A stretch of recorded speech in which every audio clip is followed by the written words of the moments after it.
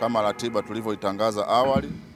E, kutakuwa na maziko ya kitaifa hapa Dodoma ambapo viongozi mbalimbali watapata fursa ya kuaga, lakini na baadaye wananchi. Kwa hiyo napenda kuwajulisha wanadodoma, Watanzania, maeneo mengine ya karibu, ratiba haijabadilika.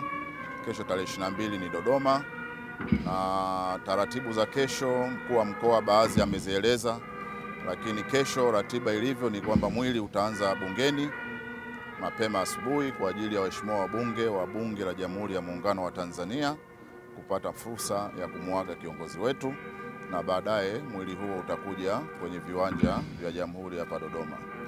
Baada ya viongozi mbalimbali kuaga, wananchi watapata fursa, na ni siku moja tu Dodoma. Tutajitahidi sana twende mpaka majira ya usiku, lakini wananchi ni vyema wakajitokeza mapema sana, ikiwezekana saa moja kila mtu awe ameshakaa kwenye uwanja wa Jamhuri. Sasa kama ambavyo tumesema jana, niligusia msiba huu sio wa Watanzania tu, msiba huu umeigusa dunia nzima, na kesho tunatarajia viongozi mbalimbali wa kimataifa watashirikiana nasi Watanzania kuja kuomboleza na kumwaga kiongozi wetu. Kwa ningependa pia kutumia fursa hii e, kutaja baadhi ya viongozi ambao mpaka mchana huu wamethibitisha kwamba wataungana nasi hapa Dodoma kwenye kumwaga kiongozi wetu. Tutakuwa na viongozi mpaka sasa kwa maana ya marais na viongozi wanaowakilisha marais wao watakuwa kumi na moja mpaka sasa, lakini kwa upande wa jumuiya za kimataifa, mabalozi, e, asasi za kikanda hawa watakuwa zaidi ya hamsini mpaka sasa ambao wamethibitisha kushiriki. Labda kwa upande wa marais e, nitaje tutakuwa na Mheshimiwa Rais Uhuru Kenyatta wa Kenya atahudhuria. Tutakuwa na Mheshimiwa Lazarus e, Chakware rais, Mheshimiwa Rais wa Malawi. Tutakuwa na ra, Rais Azali Asumani wa Komoro. Tutakuwa na Rais Filipe Nyusi wa Msumbiji. Tutakuwa na Mheshimiwa Emerson Mnangagwa wa Zimbabwe. Tutakuwa na Mheshimiwa Edgar Lungu wa Zambia.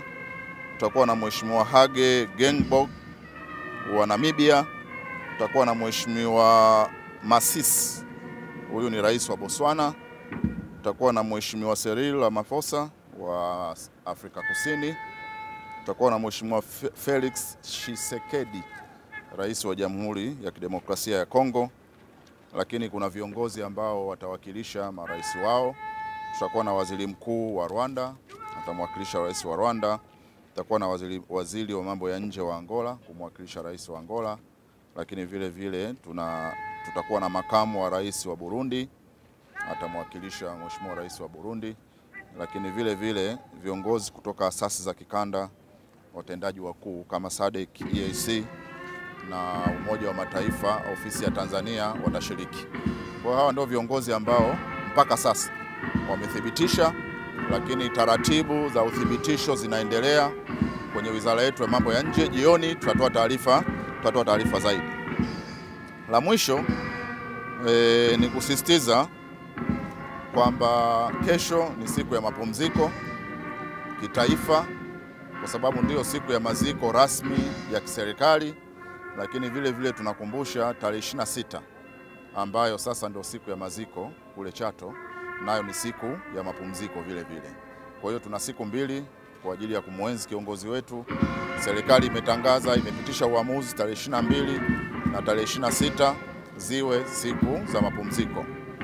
La mwisho kabisa kwa Dodoma, tuwaombe wanadodoma kuanzia leo e, tunatarajia mwili utatua uwanja wa ndege wa Dodoma jioni muda wowote kuanzia saa 11.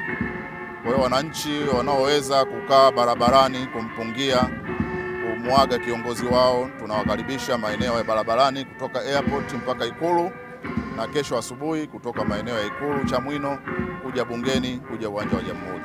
Hiyo ndio ile route ambayo itatumika kwa leo na kesho, lakini zaidi ya hapo, Watanzania tuendelee kumwombea dua kiongozi wetu.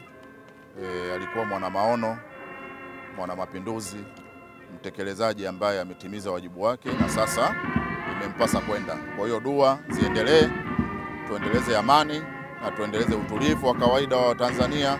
Mwenyezi Mungu atupe sana subra katika kipindi hiki. Asanteni sana. Kama kuna swali moja